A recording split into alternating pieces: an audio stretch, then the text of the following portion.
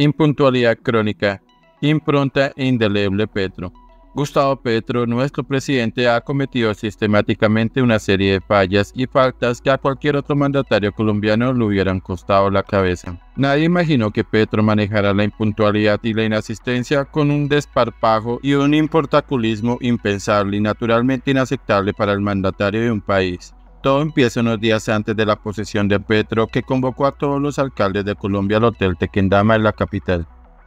De los 1.100 municipios que tiene el país, acudieron a esta convocatoria 850 alcaldes, algunos de ellos de regiones muy lejanas y que se tomaron hasta cuatro días para llegar a Bogotá. Petro no apareció.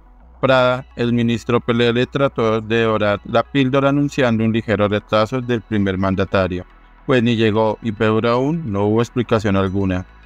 Hoy, casi 11 meses después de su llegada, Petro tampoco acudió a la tan publicitada reunión en La Guajira. El malestar estomacal producto de un mecato fue la destemplada y frívola disculpa. En ambos eventos había una expectativa brutal por la llegada del Mesías que no apareció, y quedó en el ambiente el desconcierto, el malestar y la frustración.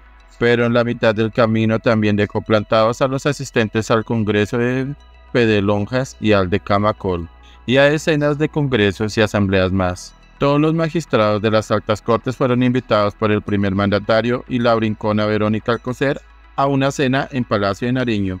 Todos asistieron con una gran expectativa, dada la tensa relación de las cortes con el primer mandatario. Petro tampoco apareció y los invitados, 70 más sus esposas indignados, se negaron a cenar.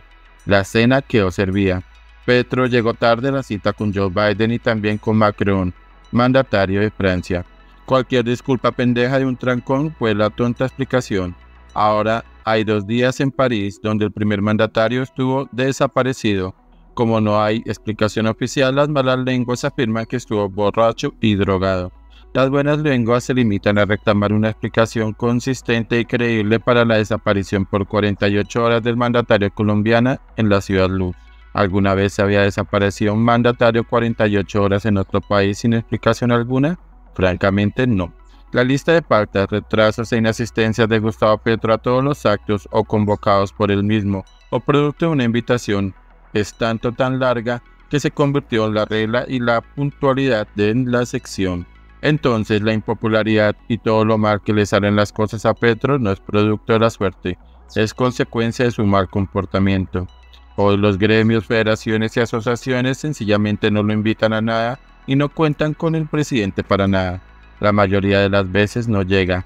Y las otras, como la de Quinchía Rizaralda, a la que llegó con 11 horas de retraso, no dijo nada ni resolvió nada y tampoco se reunió en primado con nadie. Llegó, se echó su discurso mamerto y se marchó. Desconcierto y angustia total. Uno recoge lo que siembra.